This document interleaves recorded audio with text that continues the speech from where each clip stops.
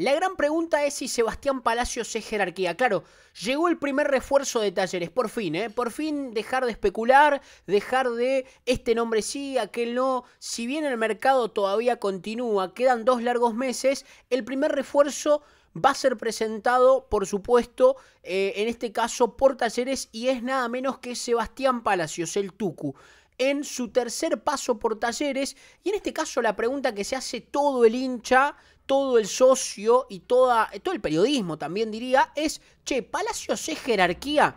Es un futbolista que ilusiona, es un jugador que termina siendo importante en este mercado de pases y la verdad que yo veo dos campanas muy marcadas, dos posturas claras en los hinchas. Veo una postura de los hinchas que dicen no es jerarquía, no es el jugador que se estaba esperando.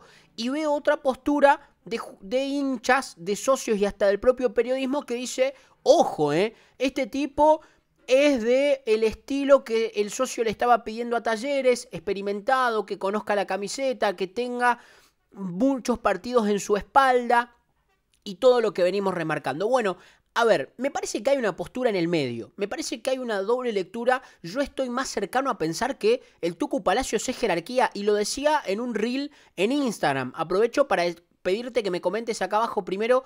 ¿Es jerarquía para vos antes de ver el video? Pone pausa y comentame. ¿Es jerarquía? Aprovecho Pone el me gusta, suscríbete y por supuesto seguime en Instagram, así estás más pendiente del día a día y el contenido, además de acá en YouTube, por supuesto, ¿no? Pero digo, yo estoy en el medio porque yo en un reel, hace un par de semanas, cuando dio a conocer Nacho Castellano la información, colega de 351 Deportes, decía, obvio que es jerarquía Seba Palacios.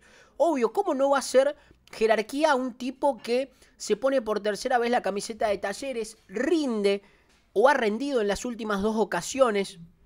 En este caso viene del Panathinaikos de Grecia, que quizás sea la duda con relación a nosotros.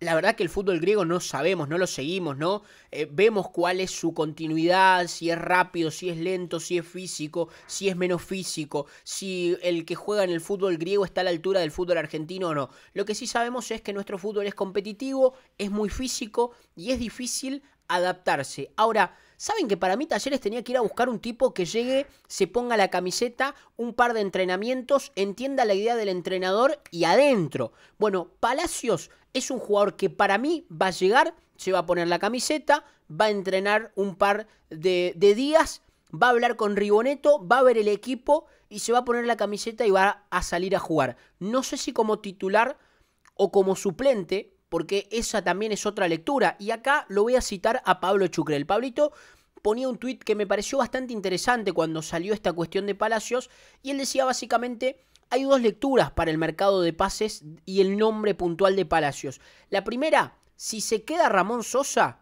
es jerarquía. Porque vos, un ataque con Sosa, con Palacios, con Girotti, con alternativa de Martínez, de Ramiro Ruiz Rodríguez, de Bartichotto, y todo, te encontrás con un equipo más que completo y con muchas variantes en el ataque. Ahora, si se va Ramón Sosa, estamos hablando de otra postura, otra conjetura se puede sacar de la llegada. ¿Por qué? Porque uno entiende que si se va Sosa, Palacios viene a suplir ese lugar. Lo que a mí me gustaría saber es, Palacios, entra Palacios y sale Ramón Sosa, llega este jugador como para ponerse esa camiseta de reemplazante de en este caso del paraguayo, porque ahí creo que se le pone un peso encima, ahí me parece que el hincha estaba esperando nombres quizá un poco más em, importantes en el caso de Pavón, de Domínguez, y digo Domínguez porque, a ver, hasta cierto punto yo pongo el caso de Domínguez, el jugador de Gimnasia Esgrima La Plata, por sobre el, por sobre el de Palacios, por una cuestión a Domínguez lo tenemos todos los fines de semana, entonces quizá es más probable que nosotros digamos, no, Domínguez, ¿cómo entre Palacios y Domínguez va a elegir a, Palacios? Si Domínguez es un crack, lo vamos a vender a 15, pensará el hincha de talleres, o pensará que piensa la dirigencia, porque claro, lo tenemos en el día a día, Gimnasia de Grima La Plata lo vemos habitualmente, vemos los goles, vemos los resúmenes, es un nombre que tenemos más acentuado en nuestro día a día. Evidentemente no, no vamos a saber si Domínguez rinde con la camiseta de talleres o no.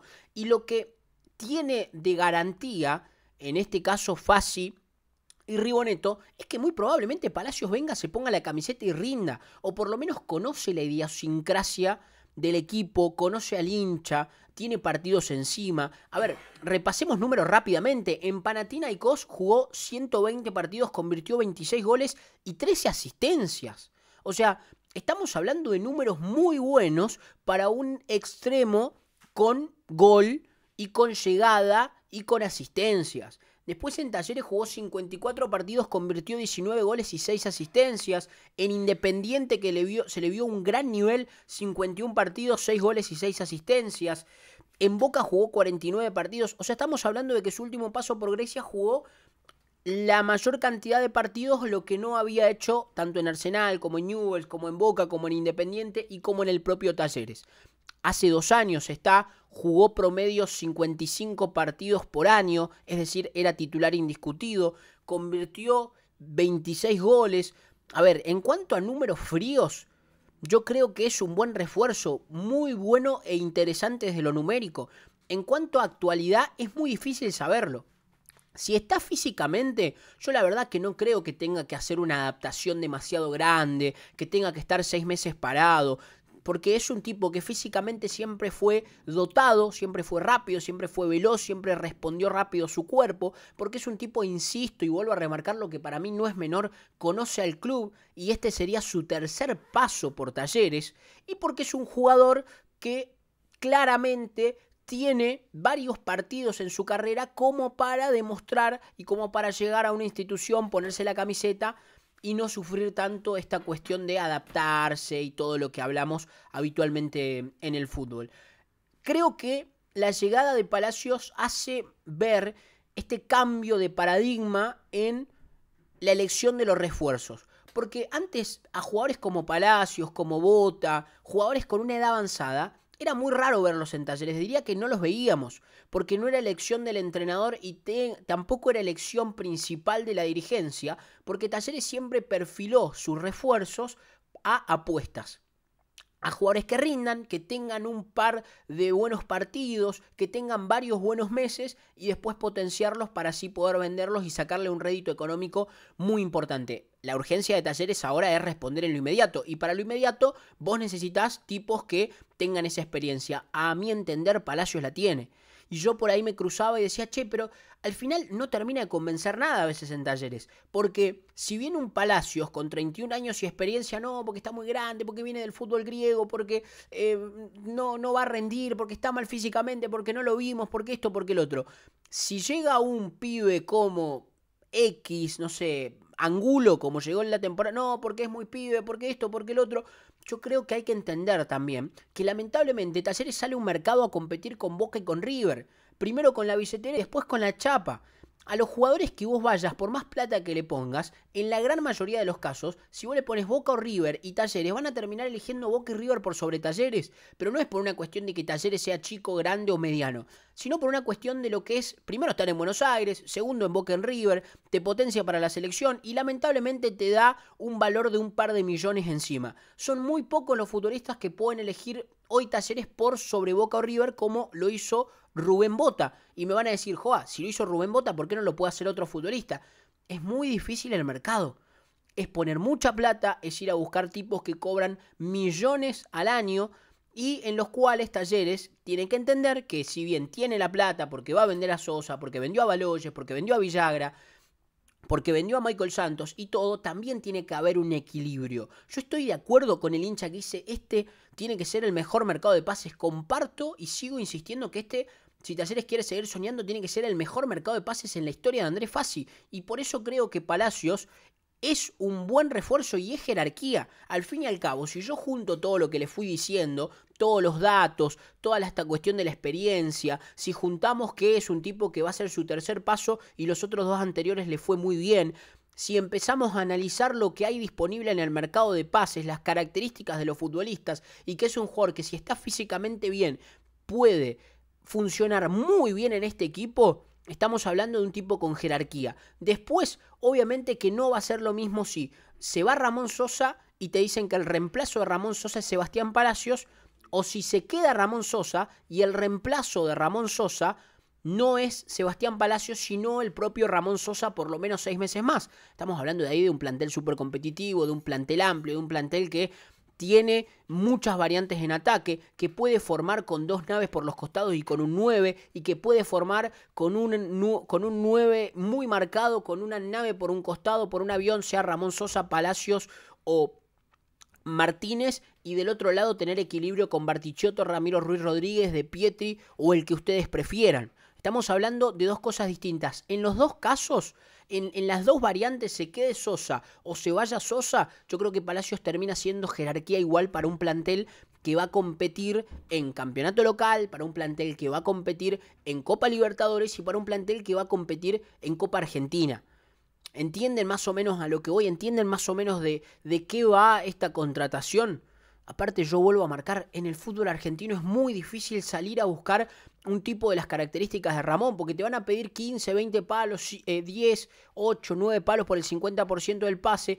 Y si Talleres vende a Ramón Sosa en 15, en 20 palos, no va a salir a gastar lo que vendió por Sosa. Esto lo sabemos de sobra y esto lo entendemos y lamentablemente es así porque es la política que tiene el presidente. Vos tenés la posibilidad de traer un tipo libre, de pagarle solamente el contrato y después aprovechar otras oportunidades que aparezcan en el mercado de pases.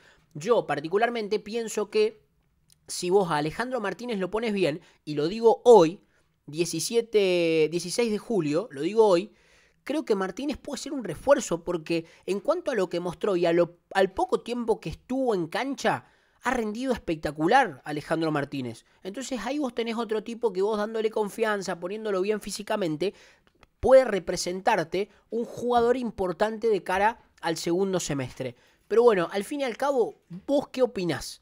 ¿Es jerarquía? ¿No es jerarquía? ¿Es un refuerzo? ¿Es una incorporación?